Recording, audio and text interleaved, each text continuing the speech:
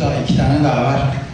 Yani Herodot 3. Yaş Akademisi Derneği Bodrum'da Türkiye'de ve dünyada medya nereye gidiyor konulu söyleşi düzenledi. bütün opsiyonları net olarak verin. O aklı selim sahibidir. Bodrum Ticaret Odası'nda düzenlenen söyleşiye gazeteci yazar Profesör Doktor Haluk Şahin konuşmacı olarak katıldı.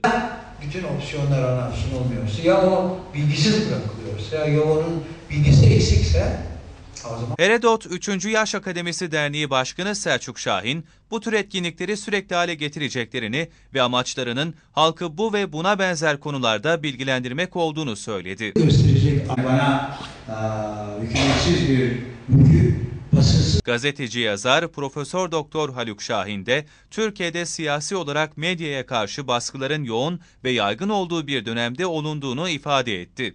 Bu konunun kendisi için yeni bir şey olmadığını anlatan Şahin şöyle konuştu.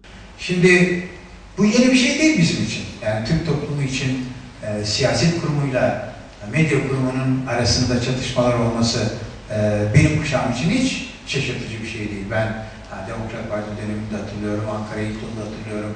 Efendim, e, öldürülen gazetecileri hatırlıyorum. Askeri darbelerin hapse gazetecileri hatırlıyorum. 141, 142 hatırlıyorum, 163 hatırlıyorum. Hatırlıyorum, hatırlıyorum, hatırlıyorum.